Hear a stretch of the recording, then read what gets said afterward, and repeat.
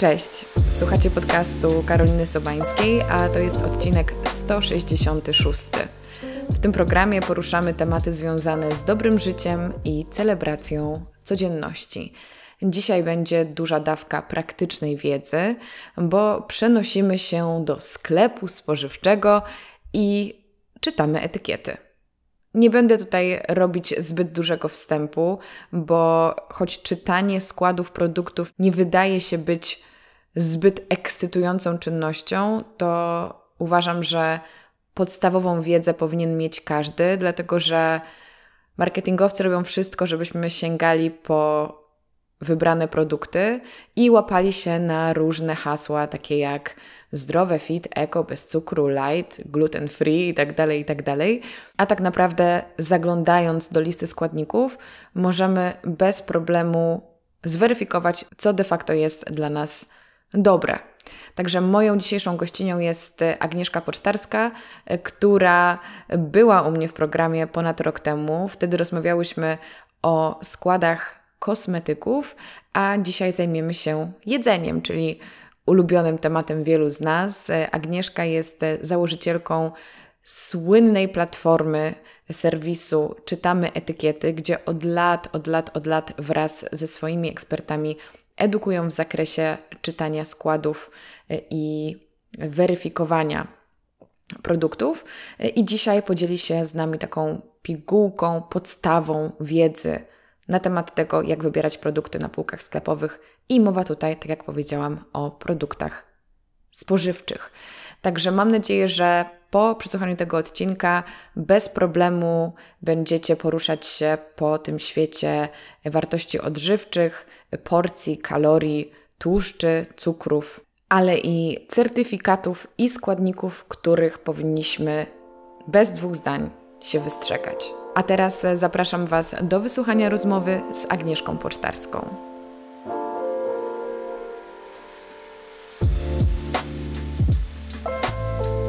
Cześć Agnieszka. Cześć. Jest mi bardzo, bardzo, bardzo miło gościć Cię po raz kolejny.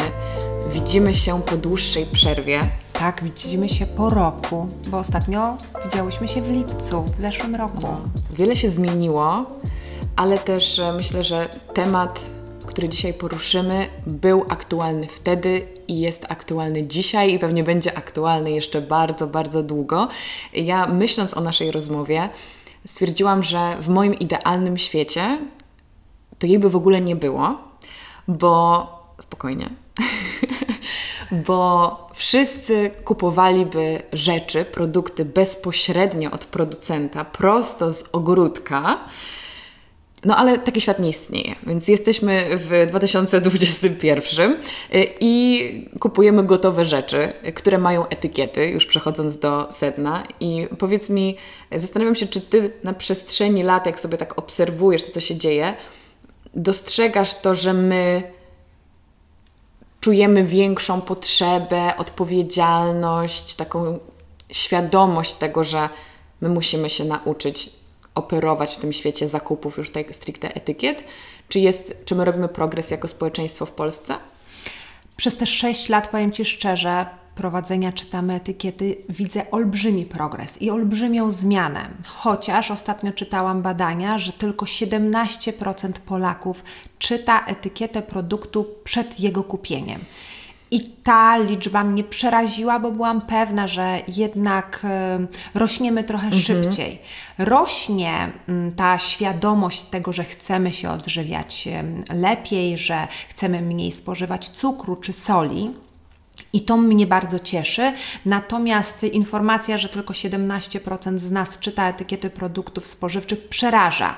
Chociaż, e, tak jak ja obserwuję, oczywiście w dużym mieś mieście i, mm, e, i w dużych sklepach, mhm. to ja widzę ludzi, którzy stoją przed półkami sklepowymi i czytają produkty, które zaraz mają włożyć do koszyka, więc mm, ja mam nadzieję, że to będzie szło dalej, że to jakby idziemy w tym dobrym kierunku. Po to jest też czytamy etykiety, żeby żeby uświadamiać ludziom, że to jest bardzo ważne, bo to nie wpływa tylko na takie nasze codzienne wybory, ale ma olbrzymi wpływ na nasze zdrowie, bo to, co jemy na co dzień, mm, wpływa na nasze zdrowie, na nasze samopoczucie, na to, jak nasz organizm pracuje, więc my naprawdę powinniśmy wybierać produkty z jak najlepszym składem. Ale to jest też trochę tak, że my chcemy żyć zdrowo, chcemy się coraz lepiej odżywiać, ale finalnie lądujemy w sklepie, bierzemy to, to opakowanie, mamy jak najlepsze chęci, ale nie umiemy dobrze wybrać, że jednak nadal tej edukacji, tych konkretów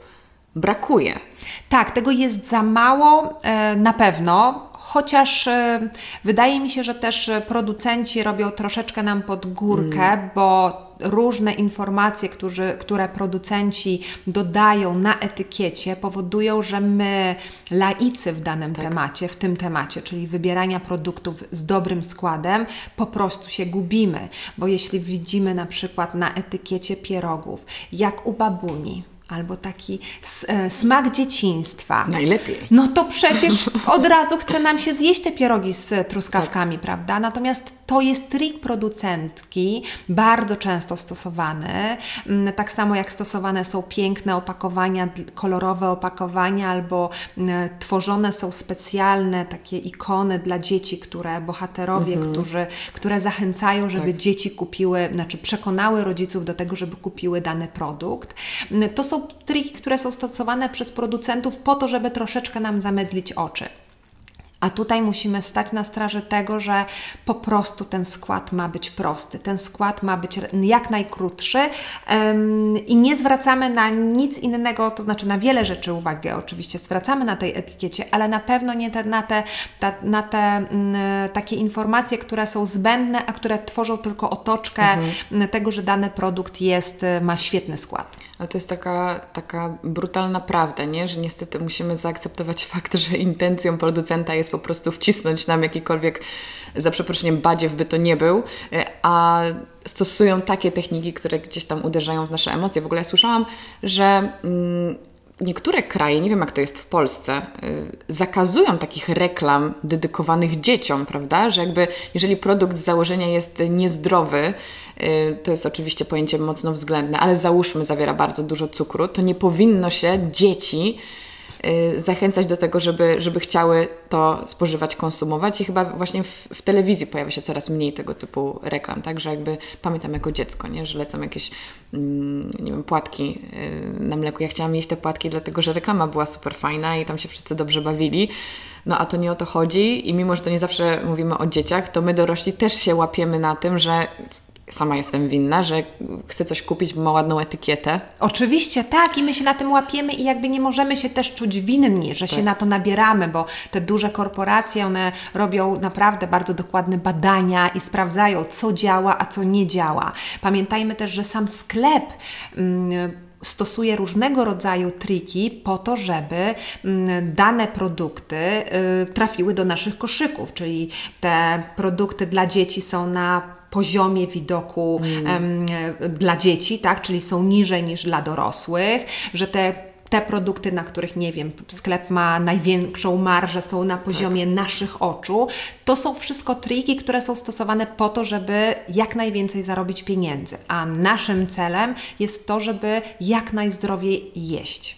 Jeszcze na chwilę zostając przy tych opakowaniach, to też jest chyba ważna kwestia, że to, co jest napisane z przodu na nazwie produktu, niekoniecznie w ogóle jest y, tożsamy ze składem. I tak jak powiedziałaś, właśnie jak u babuni, albo domowy smak, jak czy, dzieciństwa, tak. najzdrowszy wybór. Ja tak. nie wiem, co tam tak. jeszcze jest napisane, że my chyba powinniśmy w ogóle zignorować tę te, te część etykiety. No, większość rzeczywiście tych y, naklejek, napisów, oznaczeń jest zupełnie zbędna i bardzo często nieprawdziwa, y, ale dopiero jak sprawdzimy etykietę, skład, wartości odżywcze, to my się o tym dowiemy, bo ja na przykład uwielbiam takie przykłady, jak nie wiem, jogurty owocowe są, nie wiem, powiedzmy malinowe, a okazuje się, jak tam nie widział. No właśnie, że to nawet koło maliny nie stało, bo to ma tylko barwnik mm -hmm który koloryzuje nam produkt na czerwono, a tak naprawdę mówiąc to nie jest malina, tylko to jest borówka, bo jest akurat w, o tej porze roku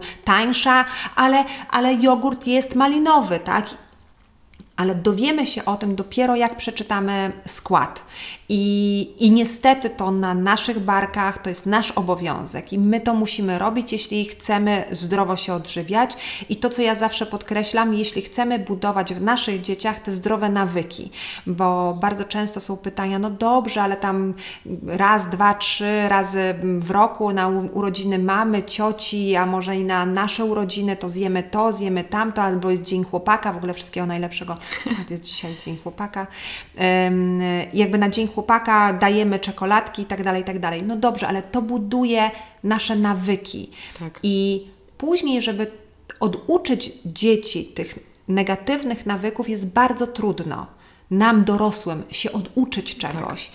Więc uczmy dzieci tego zdrowego, Oczywiście, że od czasu do czasu to nie jest nic um, złego, żeby zjeść czekoladę albo żeby zaszaleć i, i, i zjeść coś, na co mamy ochotę, ale tak na co dzień po prostu odżywiajmy się zdrowo. To jest też to, o czym mówiłyśmy przed nagraniem, że ja naprawdę bardzo doceniam to, że moi rodzice nigdy nie zaszczepili we mnie miłości do słodyczy i różnych śmieciowych przekąsek, bo widzę po ludziach wokół mnie, że to jest naprawdę trudne, że to jest kuszące, że my e, właśnie kojarzymy z dzieciństwem te wszystkie um, batony, czy inne chrupki i chipsy, czy słodkie napoje. Nie mówię, że ich nie piłam, bo wiadomo, jakaś wycieczka szkolna, Oczywiście, czy po jakichś zajęciach tak. tańca, to tam ubłagałam tatę, żeby mi kupił trzy bita, czy coś w tym stylu, ale też nie było mi to nigdy zakazane, co jest w ogóle ogóle ciekawe, trochę wiesz, kwoli dygresji, ale mm, to jest y, z mojej perspektywy interesująca obserwacja, że u nas zawsze te słodycze były w domu, bo na przykład była jakaś paczka świąteczna mm-hmm.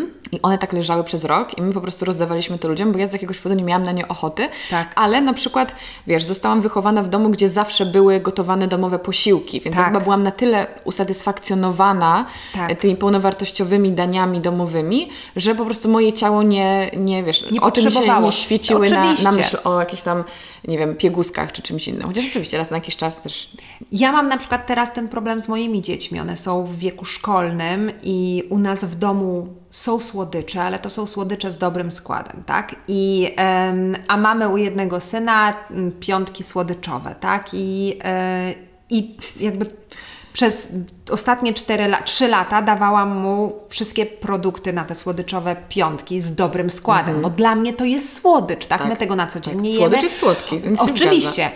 A on do mnie przychodzi i mówi: Mamo, ale ja bym chciał, no coś, jakiś słodycz. Ja mówię: Ale przepraszam, czy to jest słodkie? No jest, no to ja mówię: To jaki jest problem? No tak, ale koleżanki, koledzy przynoszą zupełnie inne rzeczy i tak dalej, i tak dalej.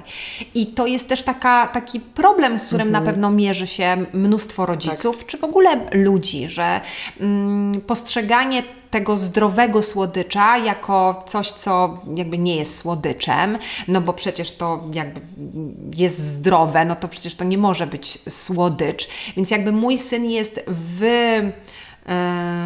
jakby w tym, że on to je na co dzień. Dla niego to jest słodkie, ale jak przychodzi z tym tak. do swoich najbliższych kolegów, to wszyscy mówią, ale to nie jest e, słodycz prawdziwy, mhm. bo to jest zdrowe, to to nie może być e, słodycz. Więc e, jakby uczenie znowu tych dzieci tego, żeby mm, na co dzień zdrowo się odżywiały, a rzeczywiście od czasu do czasu, jeśli mają ochotę, bardzo proszę, no to, to, to moim zdaniem jest taka rola nas, na, na, nas rodziców, bo później będzie im łatwiej.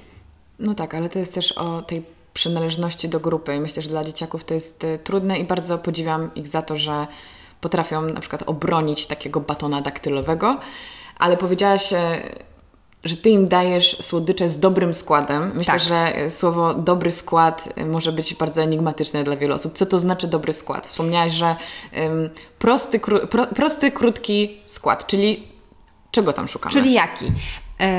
Słuchajcie, jedna z najważniejszych rzeczy, która powinna dotyczyć produktów, które wybieramy, to jest to, że produkty powinny być jak najmniej przetworzone. Czyli to powinny być produkty jedno-, dwuskładnikowe, które wykorzystamy w naszej kuchni, robiąc dany posiłek. Czyli większość przetworzonych produktów gotowych, pierogów, naleśników, kotletów to są produkty, które muszą mieć w składzie mnóstwo mhm. dodatkowych i zbędnych składników, po to, żeby przetrwać długo na półce, mm, żeby ładnie wyglądały, żeby jakby okiem były atrakcyjne dla kupujących. Natomiast zacznijmy od może od początku rzeczywiście. Dobry skład to jest krótki skład. Pamiętajmy o tym, że kolejność wypisanych składników na etykiecie jest w kolejności malejącej, czyli tych składników, które, których w danym produkcie jest najwięcej, one są na samym początku. Czyli jeśli na przykład na jednej z trzech pierwszych pozycji mamy cukier, to to oznacza, że tego cukru w składzie jest po prostu dużo. Ja mam na przykład taką swoją prywatną zasadę, że ja nie kupuję produktów, które mają cukier na jednej z trzech pierwszych pozycji, bo uważam, że tego cukru jest po prostu za dużo. Można sprawdzić dokładnie, ile tego cukru jest, zaglądając do tabeli wartości odżywczych, bo tam jest dokładna informacja, ile tego cukru na 100 gram w danym produkcie jest. To może być czasami mylące, bo na przykład w jogurcie naturalnym również jest cukier, mhm. ponieważ w mleku jest po prostu cukier i musimy pamiętać, że wtedy te 5 gram cukru to jest po prostu norma, ale wszystko, co jest ponad tą wartością, to jest ten cukier dodany. Czyli kupujemy produkty z jak najmniejszą ilością cukru. Taka kolejna moja zasada to jest taka, że jak cuk, ta wartość cukru przekracza 12-13 gram na 100 gram, to już jest dla mnie za dużo. Ja kiedyś zrobiłam doświadczenie z moimi dziećmi, które weszły do sklepu i powiedziały: Mamo, mamy ochotę na coś słodkiego. Mhm. Ja sobie powiedziałam: Dobrze, macie tam półkę ze słodyczami. Mamy trzy zasady. Cukier nie może być na jednej z trzech pierwszych pozycji. Produkt nie może mieć syropu glukozowo-fruktozowego i nie może mieć oleju palmowego. Proszę, ja Wam kupię tą rzecz, którą wybierzecie. Powodzenia! Dokładnie tak.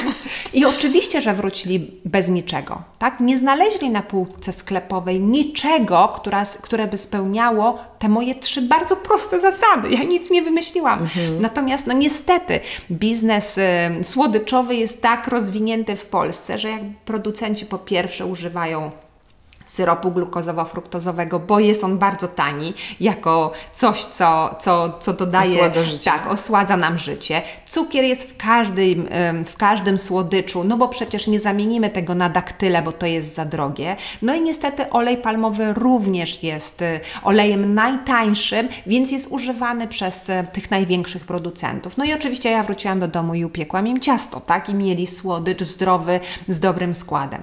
Natomiast y, trzeba sobie założyć pewne zasady, których się które stosujemy w naszym codziennym życiu i ich się trzymać, bo to też właśnie będzie jasne dla dzieci, dlaczego my da danych rzeczy nie kupujemy. Więc po pierwsze, e, pamiętajmy o tym, że kolejność składników wypisanych na etykiecie jest w kolejności malejącej, czyli tego, co jest na samym początku, jest najwięcej w danym produkcie. Kupujemy jak najprostsze produkty, czyli nie kupujemy jogurtu owocowego, tylko kupmy jogurt naturalny i w domu dodajmy do tego jogurtu naturalnego ulubione nasze owoce. Tak będzie najłatwiej i tak będzie najzdrowiej. Oczywiście na rynku pojawia się coraz więcej produktów nabiałowych, tych mhm. jogurtów mhm. owocowych z dobrym składem i już teraz chyba w każdym sklepie dyskontowym znajdziemy jogurty, które nie mają dodanego cukru, ale niestety jogurty owocowe zazwyczaj mają bardzo dużą ilość tego dodanego cukru. Nie tylko tego okay. cukru z owoców, ale też i dodanego cukru, bo na przykład jeśli mamy jogurt malinowy, no to wiadomo, że maliny są kwaśne ale kwaśny jogurt to nie jest coś, co dziecko polubi, więc trzeba dosłodzić, żeby mm -hmm. było pysznie i żeby dziecko chciało pić ten jogurt. Więc producenci znowu no, stosują pewne zasady takie, żeby ten klient wrócił i kupił dany produkt. Ja bym się na chwilkę zatrzymała przy tym, przy tym cukrze, bo to też jest taki mm -hmm. dobry przykład. E, dajmy na to owoce suszone. -hmm. Kupujemy sobie żurawinę i wiesz, na chłopski rozum widzisz żurawinę suszoną, no co tam może być? I patrzysz w składzie, no pierwszy składnik żurawina, potem tak. cukier, no dobra, trochę dosłodzili. Ale właśnie po to mamy tą tabelkę wartości odżywczych, żeby odkryć, że prawdopodobnie to tego cukru y, dodanego to jest połowa opakowania. I to było, Dokładnie. słuchaj, coś, co mnie absolutnie zszokowało, bo czasami tak jest, że mamy podane w procentach, nie? Ile jest danego składnika, tam kilka, kilka Tak, pierwszych tak, pozycji. Nie wiem, czy to jest zawsze, ale chyba Nie, nie niekoniecznie. zawsze. I ja byłam w szoku, jak parę lat temu zobaczyłam suszoną żurawinę, Mhm. która dla mnie powinna mieć jeden składnik, tak jak powiedziałam. I tam było 53% żurawiny. Przerażające. Dalej był cukier, jakiś olej podły i jakaś substancja, jakiś kwasek. Tak. Nie?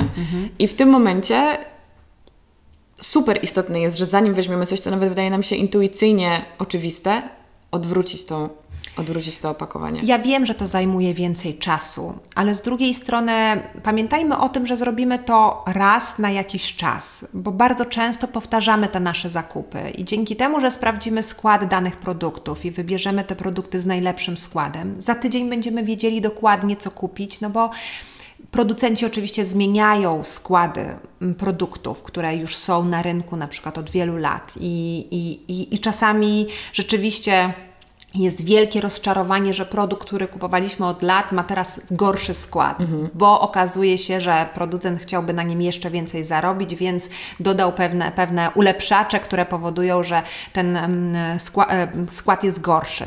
Ale tak prawdę powiedziawszy, jak poświęcimy 2-3 wyjścia do sklepu, żeby zrobić sobie taką standardową naszą listę produktów, które używamy na co dzień i które, które się u nas sprawdzają, które lubimy, to później będzie nam łatwiej. Pamiętajmy o tym, że to czytanie etykiet przynosi olbrzymie korzyści, zdrowotne, no bo odżywiamy się zdrowiej, y, ale też y, właśnie uczymy się tych różnych nawyków y, jedzenia zdrowego, ale też i badania wyszły, mm, pojawiły się takie, że jedząc y, produkty, których etykiety najpierw przeczytamy, jesteśmy w stanie schudnąć nawet do 4 kg.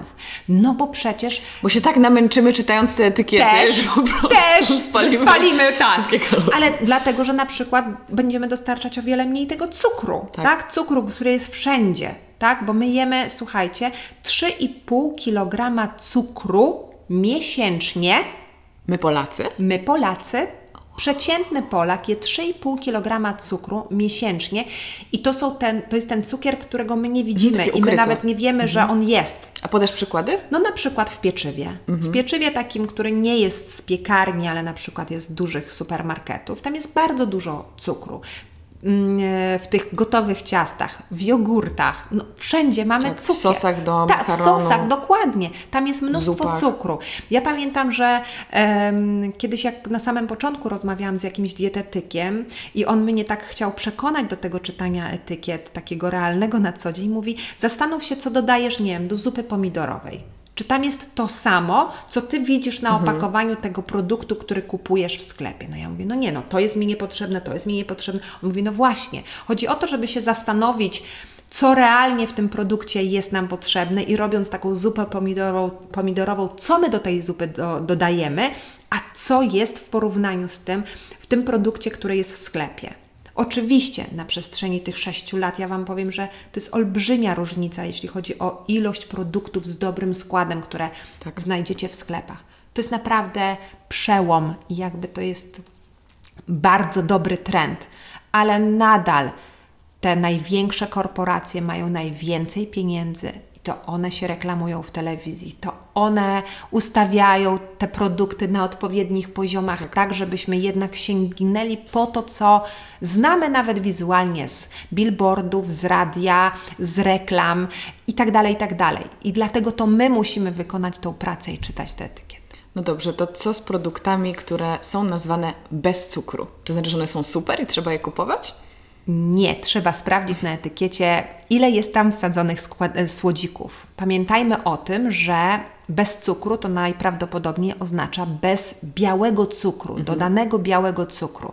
Natomiast producenci wykorzystują właśnie ten mały kruczek mm, i tą, to, ten, te- ten napis bez cukru i myślą, że my się nabierzemy. Natomiast dodają do niego sztuczne słodziki albo rzeczywiście zamienniki cukru y, po to, żeby nagle, na, nadal produkt był słodki, ale żeby mogli użyć oficjalnie, prawnie informacji, że tego cukru nie ma. Bo jak jest dodany miód, to nie jest dodany cukier, ale Albo- to jest nadal no, cukier. Tam tak? są różne takie, wydaje mi się, bardzo perfidne y, triki, bo ja też, wiesz, interesuję się światem zdrowia i jedzenia od lat i dla mnie jest to teraz całkiem jasne, jak sobie patrzę na tą etykietę, ale parę lat temu zobaczyć z tyłu, że jest syrop ym, ryżowy. Tak. Albo sok z winogron.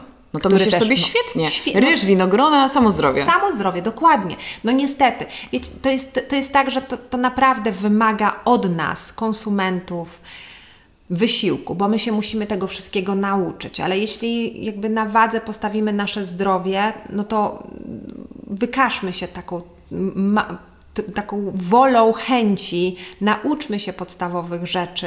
To nie są trudne rzeczy. To, to jest parę podstawowych zasad, o których my mówimy, i dzięki temu zaczniemy zdrowiej się odżywiać. I, i to naprawdę później ten nasz organizm się nam odwdzięczy.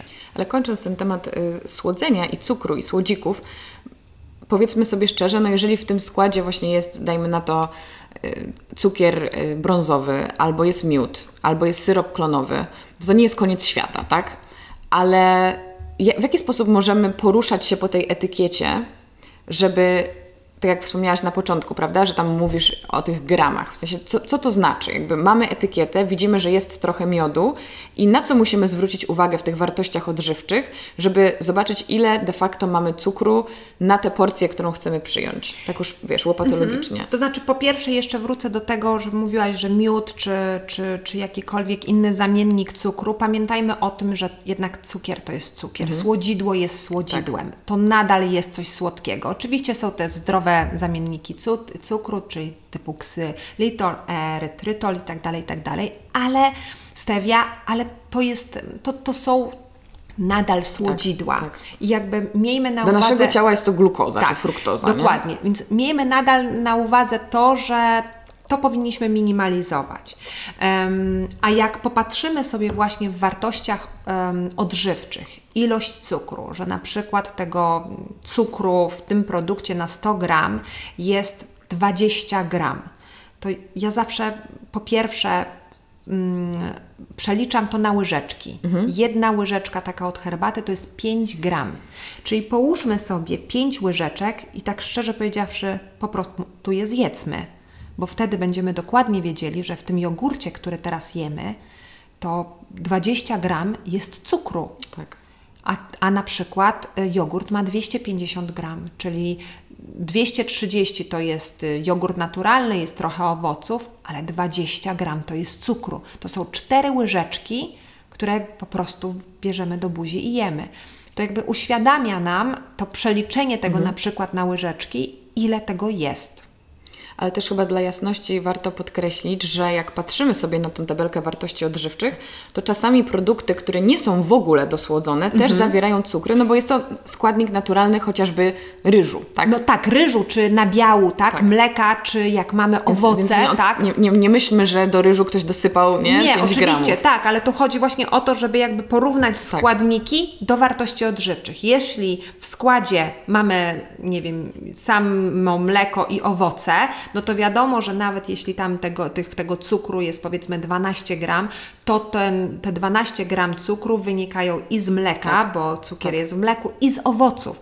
Natomiast musimy to porównać sobie, popatrzeć i przeanalizować, bo jeśli zobaczymy, że tam jest właśnie a to miód, a to cukier, a to stevia dodana, no to już wiadomo, że to jest też dodane mhm. do produktu i jest to zbędne, niepotrzebne. Jeżeli ktoś, kto nas słucha, czuje się teraz trochę przytłoczony ilością tej niuansów, to tak jak powiedziałaś wcześniej, ja będę odwoływać, yy, od, odsyłać wszystkich do tego stwierdzenia, możemy to zrobić raz, a dobrze i potem kupować sprawdzone rzeczy. Więc teraz przejdziemy do, do tłuszczy, dlatego że poruszyłaś temat tego oleju palmowego, bo tak. tłuszcz też jest takim kontrowersyjnym składnikiem, my też się mhm. go trochę boimy, tak wiemy, że tak nie zawsze on jest dobry, tak samo jak w przypadku cukru. Na co warto zwracać uwagę, jeżeli patrzymy na tłuszcze w składzie produktu? Po pierwsze się ich nie bać. Tak, ja zwracam uwagę na olej palmowy, dlatego że etycznie tak. jest on e, moim zdaniem nie w porządku, bo jest to po pierwsze tu olej najtańszy, więc e, wartościowo, tak odżywczo on, on ma jakieś wartości. Natomiast etycznie patrząc, jak jest zdobywany, e, ja się z tym nie zgadzam i tak. dlatego omijam każdy produkt, który ten olej palmowy ma w sobie i tego też tu, to mhm. tłumaczę na przykład moim dzieciom i moje dzieci nie jedzą nic niczego, co ma w sobie olej palmowy. A wiesz, to jest tego... jaka jest najsłynniejsza rzecz, którą lubią dzieci, która ma olej palmowy? Oczywiście nie wiem, czy jest najsłynniejsza, to jest moja, mój ranking. Nutella. No Nutella, no, oczywiście, no. no tak. Nutella to jest to, to, to, to pierwsze. Więc no, Wszystkie produkty dokładnie. danej marki produkującej również Nutellę mają, no. tak, mają olej I my palmowy. sobie z tego po prostu nie zdajemy sprawy, że codziennie to wcinamy. Moje dzieci nie jedzą, moje, moje dzieci nie jedzą Nutelli. Ja im robię własną e, taką Nutellę albo jakieś orzechowe pasty, bo właśnie Super bo właśnie jest ten olej palmowy, no i ta ilość cukru rzeczywiście w, tym, w tej nutelli jest przerażająca. Wracając do, mhm. do, do tłuszczy, e, więc olej palmowy, dlatego że etycznie się z tym nie zgadzam. Um, on jest na przykład bardzo często wykorzystywany w mlekach modyfikowanych dla um, dzieci. Co ty mówisz? Tak, natomiast my musimy też zwracać uwagę na to, czy na etykiecie jest napisane, czy on jest certyfikowany, czy on jest niecertyfikowany, bo jeśli jest niecertyfikowany, odrzucamy każdy produkt. Okay. Natomiast jeśli jest certyfikowany, jest on wykorzystywany dlatego na przykład w mlekach modyfikowanych, dlatego że jego wartości są najbardziej zbliżone do wartości mleka i tłuszczy, które kobieta ma w mleku e, swoim naturalnym. Ja się mm. tego dowiedziałam jakieś pół roku temu okay. i naprawdę oczy mi się otworzyły. Dlatego najwięksi producenci mlek modyfikowanych dodają olej palmowy ze względu na te wartości, które w nich są, natomiast dobierają wtedy olej palmowy, ten certyfikowany, czyli ten, który jest um, produkowany na certyfikowanych polach i tak. tam nie ma żadnych nieetycznych działań i więc tutaj też jest taki niuans, że trzeba zwracać uwagę na te wszystkie małe kropeczki i e, gwiazdki, które tłumaczą, jaki rodzaj produktu um, jest, czy tam składnika jest używany. My się boimy tłuszczu, wracając do mhm. tematu, my się boimy tłuszczu, bo nam się wydaje, że my od tłuszczu tyjemy. Natomiast tłuszcz jest zdrowy, oczywiście wszystko w tak. rozsądnych e, ilościach i odpowiedni tłuszcz, bo musimy pamiętać, że dzięki tłuszczowi e, witaminy różnego rodzaju, one się lepiej przyswajają w naszym organizmie.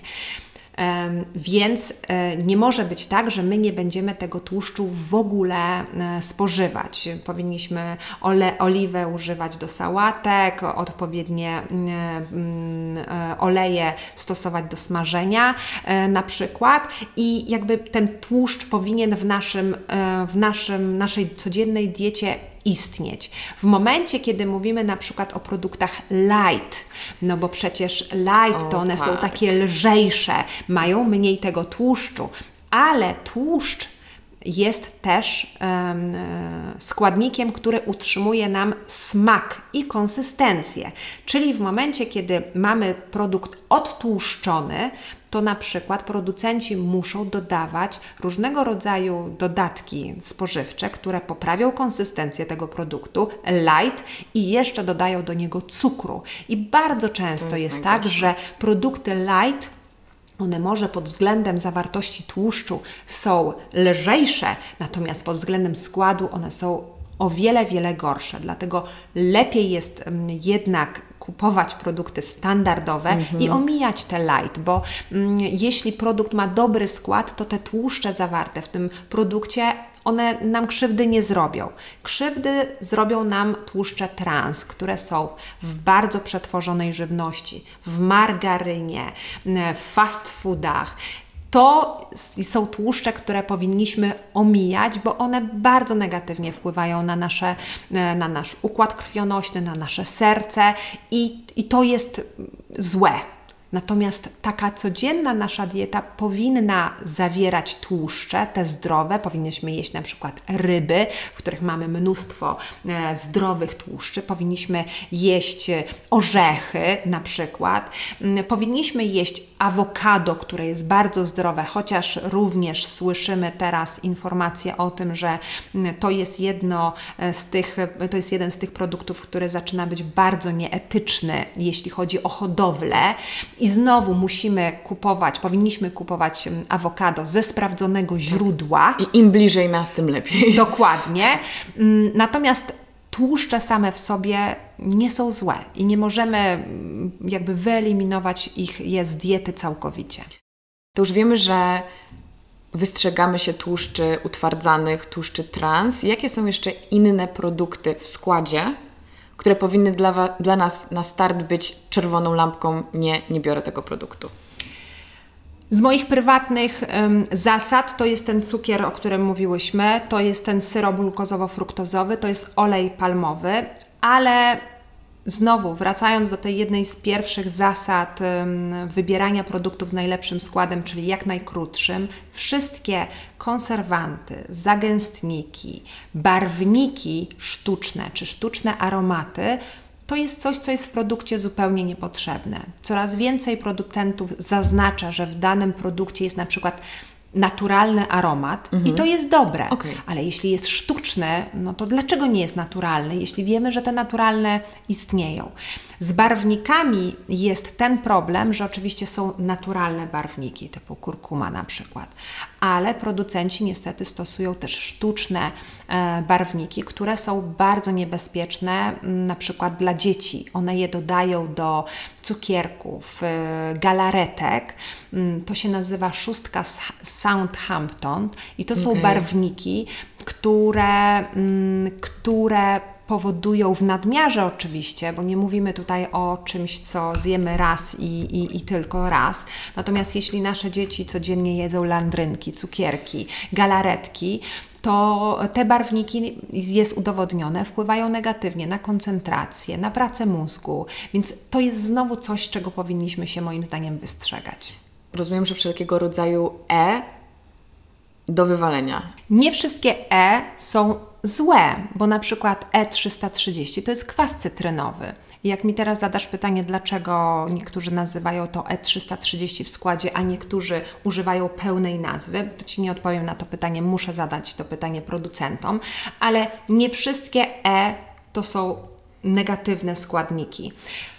Ale powiem Ci też y, tyle, że żaden dietetyk nie jest Ci w stanie powiedzieć, wszystkie E pozytywne albo wszystkie mhm. E negatywne, bo tych dodatków jest naprawdę dużo i e, na tą chwilę najlepiej jest po prostu sprawdzić w Google'ach co to E oznacza, tak. a już za dwa miesiące będzie aplikacja Czytamy etykiety i wtedy będziesz mogła wszystko sprawdzić w aplikacji i ta aplikacja Ci wszystko powie, które E jest złe, które E jest dobre, który składnik produktu mm, jest w porządku, który jest negatywny i które produkty mogą, mogą trafić do Twojego koszyka, które nie za bardzo. Boże, to jest takie wspaniałe, bo powiem Ci, że ja odrzuciłam bardzo wiele produktów w swoim życiu przez to, że E mnie odstraszało.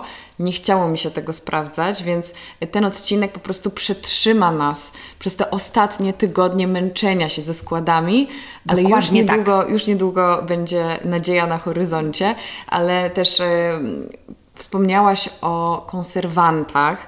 Mamy dużo takich komunikatów na opakowaniach na przykład bez konserwantów. Mhm. Czy my możemy ufać temu, że ktoś coś takiego napisał? Są konserwanty sztuczne, są konserwanty naturalne. Pamiętajmy, że ten, ten produkt, który stoi na półce, on tam stać może bardzo długo i producenci po to, żeby mieć pewność, że on zostanie sprzedany, dodają te konserwanty, żeby ta data ważności tego produktu e, jakby dotrzymała i wartości produktu dotrzymały do tego, aż zostanie kupiony i sprzedany. E, natomiast znowu trzeba by było zwrócić uwagę na etykiecie, na informację, czy tak. ten konserwant jest naturalny, czy konserwant jest sztuczny. Wszystko co sztuczne raczej odrzucamy. Naturalne konserwanty w, w produktach typu, nie wiem, zupy gotowe, no to jest coś, co musi być, żeby ten produkt przetrzymał odpowiednią ilość czasu na półce, zanim ktoś go kupi.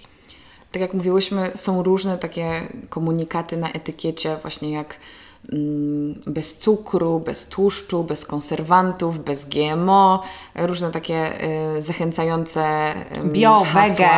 Tak, właśnie, ale są tylko słowa, bo chyba to, czego powinniśmy szukać, to jakieś realne dane, na przykład w postaci certyfikatu. Dokładnie tak. Więc jakie mamy certyfikaty, na które warto zwracać uwagę, które są wiarygodne i co one nam mówią?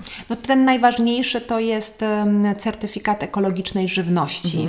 I oczywiście mamy mnóstwo produktów, które mają właśnie te znaczki bio, wege, eko. Natomiast dopóki tego certyfikatu, takiego bardzo znanego z listkiem, nie będzie, to tak prawdę powiedziawszy, nie powinniśmy być pewni, czy cały produkt jest na przykład eko czy bio, bo oczywiście w składzie może być na przykład cukier trzcinowy z upraw ekologicznych i wtedy znowu producent wykorzystuje tą informację i dodaje duże logo po to, żeby nas to chwyciło za serce i żebyśmy chwycili po, po, po produkt, natomiast realnie ten produkt nie ma nic wspólnego z ekologicznym. Te certyfikaty właśnie chociażby mm, ekologicznej żywności, czy na przykład certyfikat wegan, e, to są te certyfikaty, na które powinniśmy zwrócić uwagę, bo jeśli na przykład na produkcie mamy napisane wege, to nie oznacza, że produkt jest wegański. On jest wegetariański, ale nie wegański, więc znowu może być to mylące dla niektórych z nas. Mm, Możemy z, po prostu z pośpiechu kupić produkt, bo nam się wydaje, że on na pewno spełnia, spełnia nasze kryteria, ale znowu wszystko wyczytamy na etykiecie. Jeszcze jedna rzecz mi się przypomniała, słuchaj. Produkt bezglutenowy. Myślę, że to jest jakiś hit, jeśli chodzi o kategorię produktów w sklepach, który sprawił, że naprawdę masy ludzi wybierało te rzeczy, myśląc, że to jest teraz ten zdrowy trend, ten dobry trop. Tak, ale to jest właśnie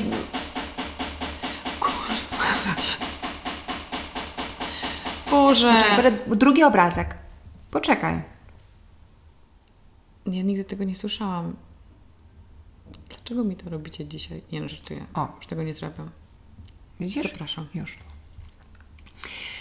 Dlatego, że je, przez dłuższy czas ostatnio była moda na wszystko, co jest bezglutenowe. I wszystkim się wydawało, że życie bez glutenu jest zdrowe. Tak. Natomiast życie bez glutenu jest zdrowe dla osób, które mają na przykład celiakię. Ale mm, taki zdrowy człowiek, przeciętny, nie ma problemu, żeby mm, trawić e, gluten i żeby jeść produkty z glutenem. Natomiast to jest moim zdaniem pewnego rodzaju moda, mm, że ja jem bezglutenowo, że ja poproszę makaron bezglutenowy i, i, i jakby, jakby producenci znowu jakby poszli w ten trend. Oni uważali, że je- jeśli napiszą na opakowaniu, że coś jest bezglutenowe, nawet jeśli to mnie najbardziej śmieszy, jeśli w ogóle w składzie nie miałoby racji bytu, żeby ten gluten tam był. Na przykład właśnie znowu w jogurtach owocowych. Tak, Ale dla osób na przykład, które są rzeczywiście uczulone, mają cel, celiakię na przykład, ta informacja jest o tyle ważna, że ten gluten nie może być na przykład w całym procesie produkcyjnym. On nie może być, na, czyli na tej samej taśmie produkcyjnej, nie może być produkowany produkt z glutenem, bo dla nich to by było groźne. Więc e, znowu, wszystko zależy od producenta, wszystko zależy od składu i od ro, e, rodzaju naszej alergii, dolegli, dolegliwości, mm, na jakim, czy to jest tylko moda, czy to jest rzeczywiście choroba, z którą my się mierzymy.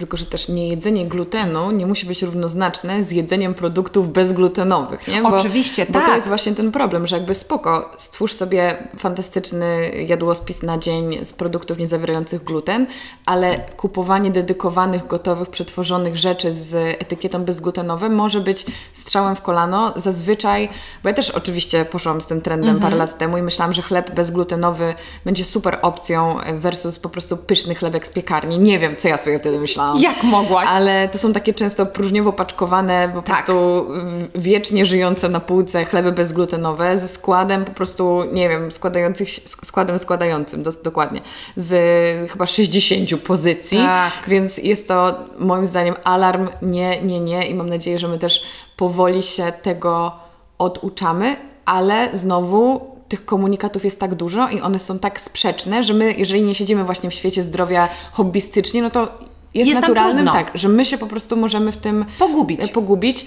I też powiedziałaś o, o rzeczach wege, wegan i to myślę Tak. też jest e, istotna e, opcja, istotne pytanie, bo wiele osób kiedy chce wybrać coś wegańskiego, czy dla siebie, czy dla e, bliskich, jest zaniepokojonych takim komunikatem, że może zawierać śladowe ilości e, jaj, jajek, mleka i orzechów. No tak? bo właśnie to wynika z tego, że na, e, na tej taśmie produkcyjnej, w danym zakładzie produkcyjnym mogą być produkowane produkty, produkowane produkty, no właśnie niewegańskie, niewegetariańskie, więc niestety ten produkt może mieć kontakt z tymi składnikami, które są wymienione na etykiecie, a producent y, informując o tym, jakby sam siebie ubezpiecza, że no, taka ewentualność może być. My w ogóle na przykład w redakcji mamy olbrzymią, olbrzymi problem z produktami wegańskimi, wegetariańskimi, które mają być podobne do produktów yy, Tradycyjnych. Tradycyjnych, dokładnie,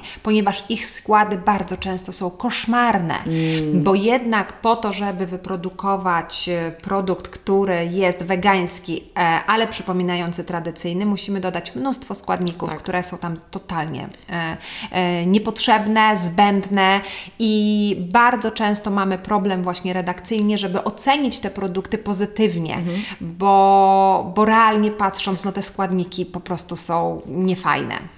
Ale to jest ten sam case, wydaje mi się, co w przypadku tej bezglutenowości, że dla wielu ludzi weganizm jest tożsamy ze zdrową opcją, no ale oczywiście producenci to wykorzystują i też oczywiście to się sprowadza do tego, dlaczego rezygnujesz z jedzenia produktów pochodzenia zwierzęcego. Wiesz, dla mnie jako osoby, która nie je mięsa od bardzo dawna, jeżeli ja raz na miesiąc sobie kupię jakiś e, gotowy produkt ze Tak. średnim składem Tak. wegańskim, wiem, że to dla mnie jest po prostu od, odtworzenie jakiegoś tam smaku, za którym Oczywiście. tęsknię. Ale jeżeli my myślimy sobie, o, to jest wegańska parówka, czy cokolwiek, to by nie była jakaś pieczeń, nie wiem, nuggetsy, kotlety. Więc to będzie mój zdrowy obiad w tym Dokładnie. tygodniu. To- to nie jest. To jest największa pułapka, ale tylko dodam a propos tego, tych śladowych ilości, że jakby z perspektywy wieloletniej weganki, to to jest dla, dla mnie to było zawsze okej, że są te śladowe ilości, tak? Bo to myślę, że jest bardziej komunikat dla osób, które mają alergię, No właśnie. żeby właśnie po prostu zabezpieczyć się pod tym Tak. względem, ale tam no, realnie nie było żadnych produktów zwierzęcych dodanych do tego konkretnego produktu, także można tutaj wszystkich uspokoić. uspokoić. Ale to ja jeszcze zwrócę na jedną uwagę, na jedną rzecz uwagę, mm, ponieważ bardzo często utożsamiamy na przykład produkty bio ze zdrowiem. O, to samo. E, Bio, jeśli coś ma znaczek bio, to na pewno jest zdrowe. No nie, to nie jest tak, bo mm, tak samo, tak jak powiedziałam, na przykład to może być uprawa cukru trzcinowego bio i ten produkt ma skład taki sobie i tego cukru w tym produkcie jest bardzo dużo. On jest bio, tak, oczywiście, on jest bio, ale nadal jest cukrem i nie możemy utożsamiać i czuć się jakby, mm, e, jakby nie musieć sprawdzać tego składu, tylko dlatego, że widzimy napis, że coś jest bio. Jeśli coś jest bio, to wcale nie jest utożsamiane z tym, że to jest zdrowe. To jest dla nas informacja, że składniki w tym produkcie są ym, uprawiane w sposób ekologiczny i zdrowy, natomiast skład tego produktu wcale nie musi być idealny. Dla mnie na przykład to jest taka dobra informacja na start, bo staram się wybierać rzeczy ze źródeł certyfikowanych, ekologicznych, z jakichś takich pobudek bardziej, wiesz, środowiskowych. Oczywiście. Ale to nie jest już koniec tego procesu podejmowania Sprawdzania. decyzji, tylko wtedy przechodzę do patrzenia na ten skład, bo niejednokrotnie jest tak, że mamy jakąś super rzemieślniczą czekoladę eko Tak. z certyfikowanymi składnikami ekologicznymi i nagle okazuje się, że pierwszy składnik to jest ten cukier, nawet kokosowy, tak? Ale to jest pierwszy składnik czekolady. Czy No my właśnie. właśnie to chcemy Dokładnie, jeść? no. Niekoniecznie, więc jakby tych Powiem Ci, że tych puzelków tutaj mamy tyle, że już ja czuję niepokój, ale mogę powiedzieć na pocieszenie, że da się w tym nabrać wprawy. Da się, naprawdę. I na, na, na, na, na takich laikach jak ja, słuchajcie, ja naprawdę jestem laikiem i ja się tego wszystkiego nauczyłam. Oczywiście na początku, tak jak mówiłyśmy, to wymaga od nas większego zaangażowania, większego czasu, który poświęcimy w sklepach, ale później jest nam łatwiej. Nie można sobie odpuścić tego, bo tak jak powiedziałam, te składy się zmieniają i to nie jest rzadki proceder, to naprawdę się zmienia, mm, ale możemy czuć się wtedy bezpiecznie, jeśli wybieramy podobne produkty mm, i, i jakby ta, ta, ilość informacji już nas tak nie przeraża, bo wtedy sprawdzając e, produkt, porównując do tego, który kupiliśmy, nie wiem, w zeszłym tygodniu, już mamy wiedzę, już mamy tą świadomość, na, na, na co powinniśmy zwracać uwagę. Jeszcze przyszła mi do głowy jedna niebezpieczna, niepokojąca kwestia, czyli wszelkie produkty, które są mm, niskokaloryczne albo mają zero kalorii i obiecują nam, że tam po prostu nic praktycznie nie ma. Jakby co może stać pod takim, wiesz, pod takim szyldem? No ale to jest ten tłuszcz, o którym mówiłyśmy, okay. prawda? To jest to, to że y, jeśli nie ma tego tłuszczu, to musimy w jakiś sposób sobie dodać czy tego smaku, czy poprawić jakąś konsystencję e, produktowi, te wszystkie jogurty naturalne, light, to po to, żeby ta konsystencja tego jogurtu była taka kremowa, to tam w tym składzie znajdują się totalnie zbędne składniki i tak. zdrowiej jest wybrać naturalny jogurt zwykły niż naturalny jogurt 0%, bo to naprawdę na nasze zdrowie nam yy, jakoś pozytywnie nie wpłynie. I jeszcze kalorie. Powiedz mi, jak możemy odczytać, ile coś ma kalorii i dlaczego to nie oznacza, że to cały słoik ma tyle? Wartościach odżywczych. Mamy tą tabelę wartości odżywczych i tam jest zazwyczaj wyliczona ilość kalorii na 100 gram produktu. E, zawsze jest to napisane, zawsze jest napisane do jakiej, dla jakiej pojemności produktu jest wyliczona e, dana kaloryczność, bo jeżeli nie wiem, jak no, baton ma 30 e, gram, no to nie będzie to, to będzie często dla 100 gram przeliczone, natomiast musimy sobie podzielić tak. tą cyferkę przez 3, no bo baton ma 30 grama, wyliczona wartość jest Ta dla... strona jest lepiej, gorzej jak trzeba Dokładnie. pomnożyć razy Dokładnie, ale to, no to też jakby, to też jest y, rzecz, którą jak zrobimy raz, to już później tak, będziemy tak, wiedziały tak. o co chodzi. I potem sięgamy po słoik masła orzechowego, okazuje się, że jak się to pomnoży razy 5, to możemy jeść go przez cały dzień. Tak, ale pamiętajmy też, że kalorie są nam potrzebne, bo one tak. nam dodają energii, więc znowu wybierajmy te zdrowe kalorie e, i jakby nie bójmy się tego, bo dopóki ta, ta nasza codzienna dieta jest w w miarę zdrowa, to my naprawdę temu organizmowi dostarczamy wszystkiego, co potrzebne i takie e, co jakiś czas pewnego rodzaju ustępstwa niczego złego nam nie zrobią. Totalnie, ja się w pełni zgadzam. Też e, śmieję się dlatego, że ja też nigdy nie liczyłam kalorii i nie zwracam na to szczególnej ja uwagi i uważam, że to nie powinien być naprawdę nigdy wyznacznik przy kupowaniu i wybieranie jakiegoś tak. produktu, dlatego że ja mam mniej kalorii, może być absolutną pułapką, a myślę, że to jest często taka droga na skróty, którą możemy chodzić. Jeszcze wiem, że jest jeden aspekt, y, który chciałam z Tobą poruszyć. Wspomniałaś o tym, y, o alergenach. Mhm. Jak możemy odnaleźć alergeny? One na etykiecie produktu są zazwyczaj wyboldowane, czyli pogrubione albo podkreślone. Te takie najpopularniejsze alergeny to oczywiście jest mleko, to są jajka, to są orzechy.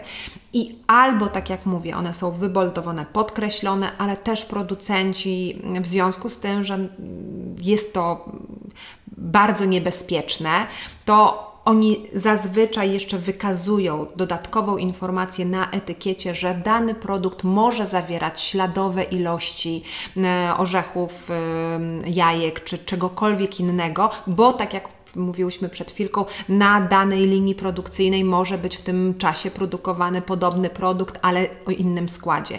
A że w związku z tym, że no, alergie mają konsekwencje czasami bardzo niebezpieczne dla zdrowia, no to tutaj akurat producenci, nie spotkałam się w żadnym przypadku z etykietą, która czegoś by nie powiedziała, czego, coś by ukryła, no bo jest to po prostu mm, konsekwencja, mm, która wpływa na nawet życie y, kupującego. W ogóle chyba warto też podkreślić, że my mamy bardzo komfortową sytuację, będąc w Unii mhm. Europejskiej, bo standardy tak. produktów są na tyle wysokie, że pamiętam po e, pobycie w Stanach krótkim e, dwa lata temu, e, czułam dużą wdzięczność za to, ile jest roboty za nas zrobione, zrobione. już na start. Tak. I oczywiście mamy mnóstwo strasznie niezdrowych, okropnych składów i okropnych produktów na półkach, ale może powiedzmy tak, raczej nas one nie zabiją.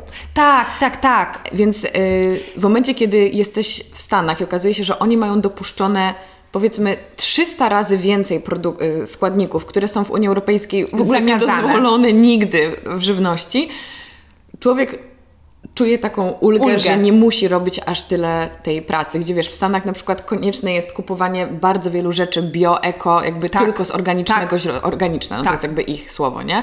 Z takiego źródła, bo po prostu tam będziesz miała metale ciężkie, jakieś najgorsze, najgorszy syf. Tak. U nas już tego nie ma nie na start, ma. to jest super.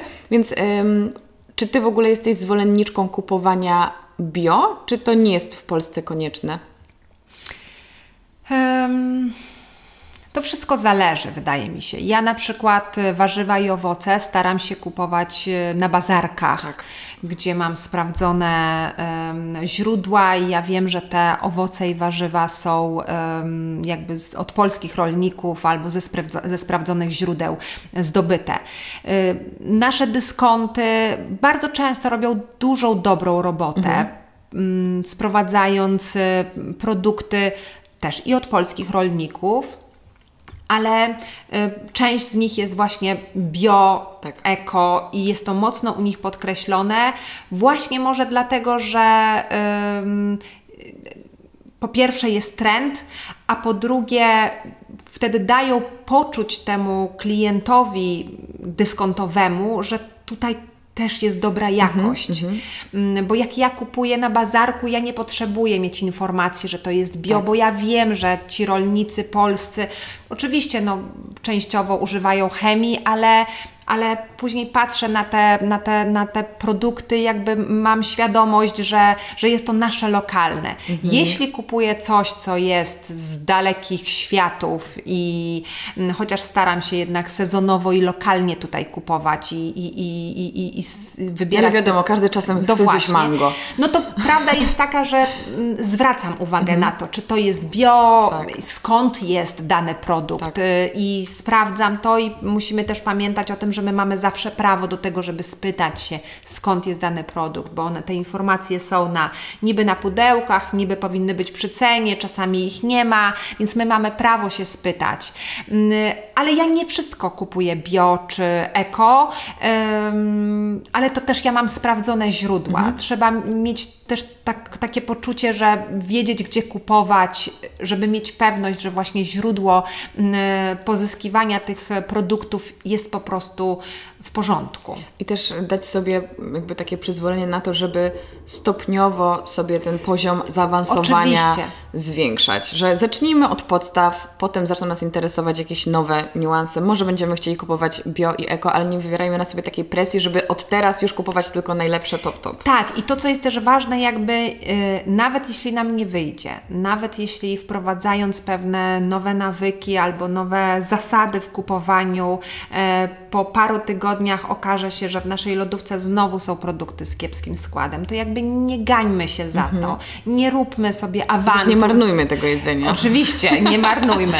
Ale jakby każdy ma prawo do tego, żeby, żeby, żeby mieć chwilę słabości. Jakby dla nas ważne jest to, żebyśmy po prostu szły, szli w tym trendzie i żebyśmy pamiętali o tym, żeby to, te, te zdrowe produkty były w większości w naszej diecie. Ale jakby nie, nie rzucajmy wszystkiego i nie mówmy, że dobra, to już koniec, ja nie potrafię, już nigdy nie zacznę znowu zdrowo się odżywiać czy czytać etykiety. Nie, czytajmy te etykiety. Czy gdybyś miała na koniec dać taką jedną złotą radę, to właśnie byłoby niezniechęcanie się? Tak, na pewno. I dawanie sobie takiej y, możliwości do popełniania błędów. Ja sama przeszłam tą całą drogę, bo ja 8 lat temu nie byłam człowiekiem, który zdrowo się odżywiał, no może 10 lat temu, e, bo nie miałam na to czasu, byłam sama na świecie, nie miałam rodziny, dzieci, jakby nie miałam, nie miałam takiej potrzeby. Natomiast kiedy pojawiły się moje dzieci, ja wiedziałam, że ja muszę zmienić swoje nawyki, wprowadzić je na co dzień do, do, do życia naszej rodziny, po to, żeby te dzieci wyszły z tego domu z pewnymi zasadami. I ja się tego wszystkiego nauczyłam, czyli można to zrobić, mając dwoje dzieci, pracę zawodową, tylko że trzeba chcieć, jakby robić to tak świadomie, krok po kroczku, małymi kroczkami, ale iść w tym kierunku.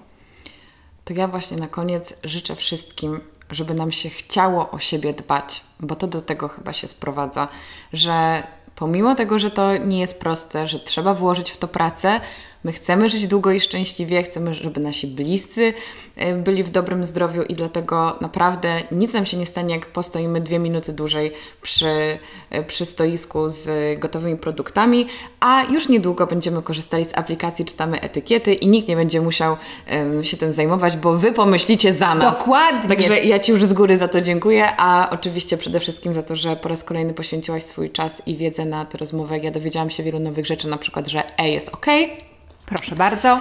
I mam nadzieję, że nasi słuchacze również. Także wszystkiego dobrego, trzymam kciuki i mam nadzieję do usłyszenia niebawem. Do usłyszenia, dzięki wielkie. Bardzo Wam dziękuję za wysłuchanie dzisiejszej rozmowy. Jak zawsze przypomnę, że podcast ukazuje się w każdy poniedziałek o 7 rano i możecie go posłuchać na Spotify, na iTunesie i na YouTubie. Tutaj możecie go obejrzeć, ponieważ nagrywamy też wideo i będzie mi bardzo, bardzo miło, jeśli znajdziecie chwilę, aby podcast zrecenzować w aplikacji podcasty na iPhone'ach czyli na iTunesie. Możecie zostawić mu wybraną liczbę gwiazdek i napisać kilka słów recenzji. Jest to dla mnie duże, duże wsparcie, bo dzięki temu podcast jest promowany i trafia do szerszego grona odbiorców. Na Spotify możecie podcast dodać do obserwowanych, na YouTubie dać subskrypcję łapkę w górę i komentarz, a wszystkich zapraszam też e, na mojego Instagrama Karolina Sobańska, bo tam wrzucam bardzo dużo treści lifestyle'owych, ale związanych z tematami, które poruszamy tutaj w podcaście. Także jeżeli macie ochotę sobie porozmawiać, e, to tam jest mnie całkiem dużo, bo jestem tam prawie codziennie. I ostatnie ogłoszenie jest takie, że jeśli chcecie mój podcast wesprzeć dodatkowo, to możecie zrobić zakupy w moim sklepie internetowym karolinasobańska.com ukośnik sklep, gdzie znajduje się wiele produktów elektronicznych, e-booków mojego autorstwa i Dokonując zakupu w październiku, e, możecie tym samym wesprzeć Fundację Bądź. Jest to Fundacja Małgosi Braunek, e, która pomaga pacjentom onkologicznym w sposób zintegrowany i holistyczny, a ja każdego miesiąca przekazuję 10% zysków z mojego sklepu innej fundacji. I jako, że październik jest miesiącem świadomości raka piersi, to właśnie taki wybór padł tym razem. Jeszcze raz wielkie dzięki za wysłuchanie tego odcinka. Wszelkie linki znajdziecie w opisie, a my słyszymy się już za tydzień. Cześć!